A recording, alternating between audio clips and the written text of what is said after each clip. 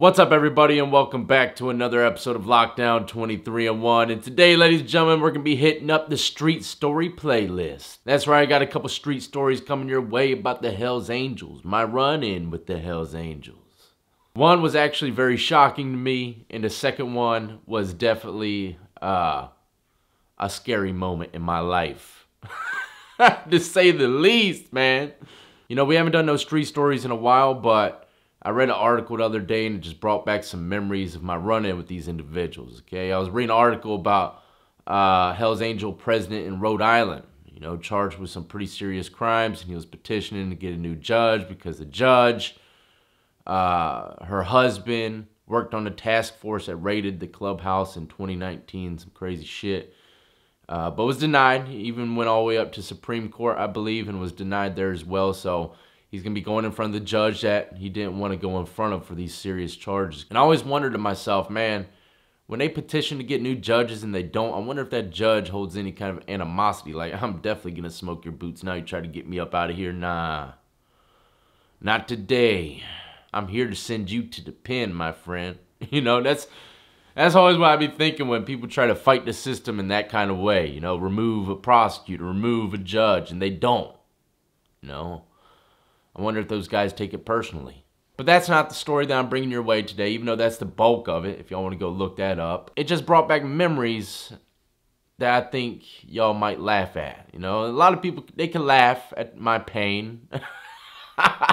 now, before we get into that, please do not forget to hit the like, subscribe, and notification bell before you leave. We talk about all things prison and crime related from street stories to interviews with individuals that have done a lot of time in prison or just a little bit of time, but they had a good learning experience. But the interview thing, ladies and gentlemen, let me speak on this for one second. I did an interview on someone yesterday, had some pretty serious allegations put against him, and he was sentenced to death at the age of 16, and now he's free, you know, by however means or process it went through. There's a lot of different things that went into this case. I've read the whole case file and case hearings, and I'm just going to say this I have decided to leave that interview off of my channel. There's too many what ifs.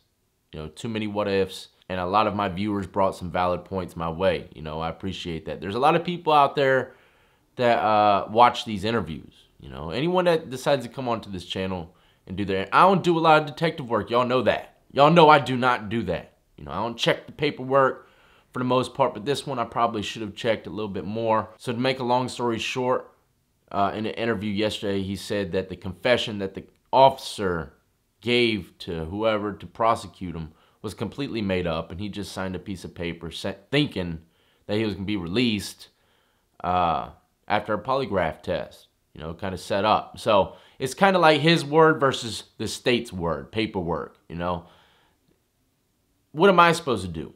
Okay, yeah, dude was found guilty for these charges whatever the case is, but at the same time, he's saying that they were all made up. But I'm not sitting here saying that that shit don't happen.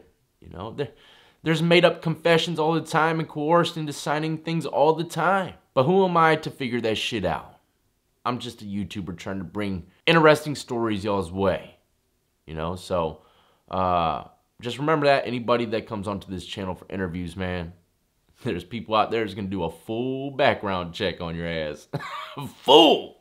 But anyways, back to the topic at hand. Two stories of me running into the Hells Angels on the streets. the first one was pretty damn wild. You know, I wasn't really scared about the situation, but, you know, I was like, what the hell are these fools doing here? Look, first things first, man, hey, I gotta say this. Biker gangs, you know, for the most part, uh, like the official ones, hey, they're pretty badass, man. You know what I mean? The vest, patches, all that shit, especially if they're, you know, they're world renowned biker gangs. If you run into them, everyone always staring at them. You know, you get someone with a motorcycle uh, in front of you on the road at a stoplight and he's got a Hell's Angel vest, I guarantee everyone around him is going to be staring at him. It's a Hell's Angel, dog. They're almost like superstars. you know, biker gangs in general, or, you know, just a group of bikers, if they roll up on you, it could be very intimidating to the square. To the average square, you know? But I've been to a lot of bars, a lot of biker bars. I used to drink with a lot of bikers and see these individuals come in and out, you know? So it's not really anything new to me and not too much of it strikes fear in my heart. It kind of, if anything, it's it's just cool to see them come in and, and, and the way they act and shit like that. Especially Hell's Angels, man, because every time I've seen them come in the bar with a group of individuals, they're always so professional, man. You know, melancholy, I guess you could say. I don't know if that's the right word, but you know, they never got wild or anything. You know, they're just very, very professional. But anyways, first story, first story, first run in. Well, this ain't my first run in with the Hell's Angel. First run in I ever had with the Hell's Angel was in prison. I tattooed him, and I messed up the tattoo, and he he freaking rocked the brick wall. Said, oh shit. hey, you know it's bad when uh, you know, even though me and him were pretty close in there, you know it's bad when you're in prison and you're tattooing a Hell's Angel you know and this i don't even know if i was allowed to be doing it but i was actually doing a hell's angel tattoo on him you know some gangs they don't allow you to get gang tattoos unless it's by another gang member i don't know if that's the case with this one but it is what it is you know a lot of people bend the rules for that shit i've seen official gang members go to the damn tattoo shop don't know nothing about the artist and and get some gang shit done by him, you know? So I guess it's really up to the individual. But anyways, I was doing it and I screwed up, screwed up pretty damn bad. And uh, he rocked the damn wall in prison. Fuck! Nailed the wall in prison. That's, oh man, here we go. We're about to get it in. You know, but it turned out to be all right. I fixed it, touched it up a little bit. I'm sure it looks like trash now. I can almost guarantee it does. But anyways, that was my first run in with an Hell's Angel, and it was in prison. You know, like I said, I've seen many of them throughout time, but this was another personal encounter with the Hell's Angel. Very, uh, what's the word? I was very shocked, I guess you could say, when this happened. It was more of along the lines of I didn't know what the hell was going on, right? So anyways, I'm driving down the interstate. I was in my old Infiniti, right? I was driving down the interstate uh, near this city called Chesapeake, Indian River area.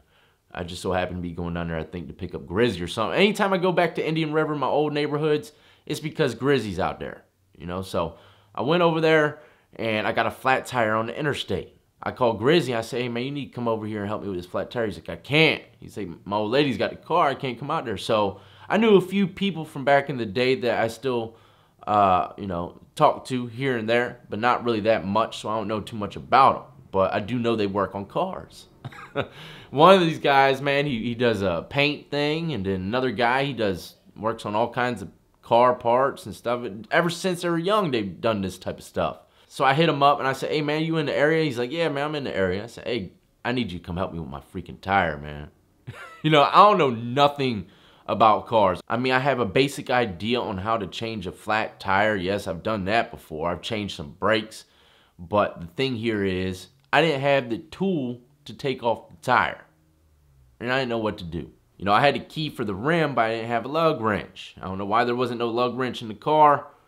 Maybe there was, I just didn't find it. Whatever the case was, I called my homeboy up from the past and I told him the situation. I said, man, I'm not too far from so-and-so. I knew he still lived in the area. He bought a house over there not too long ago. I went over there to do some things at one point uh, but this guy was always a nice dude. You know, you, you wouldn't think anything of. He's just nice. He wasn't never a part of the shenanigans me and Grizzy got a part of, and he was just a good guy, a good guy, family guy, man, for the most part. So I call him up and I tell him where I'm at, and he said, "All right, I'll be there shortly, man." I was like, "Damn right, I appreciate you, man, for real. I really do appreciate you." So I'm sitting there in my car on the side of the interstate, and all of a sudden I see all these motorcycles pull up about six or seven of them. Maybe not that many. Maybe it was about four or five. But there's two that pulled up behind the car and two, two or three that pulled up in the front. And they get off their bikes. I get out of my car almost immediately. I get out of my car almost immediately because I don't want them surrounding me. I don't know who these freaking bikers are what they wanted. You know, I was getting a little paranoid. But, you know, when I get paranoid like that, all fear goes out and it's just survival mode. You know what I mean? So I'm thinking, you know, I don't know what to think. I don't know what to think. I'm thinking maybe they just want to help me. maybe this biker gang or whatever, whoever it is, just wants to help me. So they get closer and I realize it's Hell's Angels. It's Hell's Angels. And now I'm thinking really crazy, you know? And then I see my homeboy. I said, man, what the, I said, what the hell you doing rolling up on me like this, man? Look, It was crazy. He said, I knew you were gonna get scared as shit when we rolled up, bro. I said, oh man, I said, when the hell did this happen? You know? He wasn't, I'd never seen him on a motorcycle in my life. And and then he's got the damn Hell's Angel vest. I'm like, yo, turn around, let me see that shit. It's just bad. How did I get me one of them? hey, they're all laughing their ass off except for one guy. One guy was staring at me like he still, like he wanted to kill me for some reason. You know, I'm always one of those guys that will make you laugh in a group setting, you know, especially in an awkward one where you feel like, hey, maybe these guys might be your enemy. I'll, I'll crack a joke in some kind of way, shape, or form, and they'll all start laughing. But it's always bad when one guy don't laugh and he's looking at you serious still. That's that one guy. You know he don't like your ass. You know, and I was like, oh shit, I was laughing. I said, I said, you ain't the one to mess with, all right? You ain't the one to mess with. But long story short, you know, he helped me change my tire, and those guys turned out to be pretty cool cats. And uh, it was just very, he caught me off guard. That's the word I was looking for earlier. He caught me off guard, rolling up deep like that. And I ain't gonna lie, man. I kind of felt like a boss. But shout out to you, man, for helping me out. You know, I don't know if he watches my content, but uh, he owns a lot of automotive businesses now, so he's pretty busy guy. But he looked out for the cookout, man. You know, and I ain't seen him in a while, and it meant a lot to me. Uh, second, this one ain't so cool. This one ain't so cool at all. I was at a bar. It was definitely a biker bar. Uh, I can't remember her name. Might have been Route something. I don't know, man. But I went there alone. I went. I used to go to bars alone, believe it or not, until uh, I came into some situations where some of my enemies were outside waiting to jump me, put put a gun to my face, and all this other shit. Uh, that's when I started never to go to bar alone, you know, or club. This occasion, I was young. I was still going through some shit. Uh, fresh out of prison, the first time. Fresh out of prison, the first time and I went to a biker bar. You know, I was I was drinking like clockwork because I was trying to quit bud. So I was in this bar and I remember I was eating wings. I was eating wings, and then the bartender came up to me and uh, asked me if I wanted some moonshine. I said, Nah, I said, Nah, I'm good. Just keep giving me my Coors Light, Jack Daniels. You know, I used to drink a. Every time I sat at the bar, I'd get two shots of Jack Daniel and I, I, would drink Coors Light. Yes, I know a lot of y'all probably say it's a sissy beer. I love Coors Light. The mountain, the mountains are blue, boy. Cold as the Rockies. I don't know. I just always like Coors Light. God, I can already see the comment section. Man, drink like a real man. Why well, had some Jack Daniels drinking that?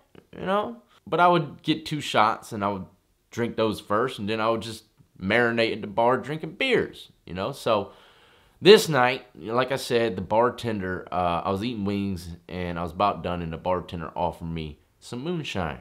And I tasted a sip of it. It was pretty good. I was already pretty damn wasted uh, by myself.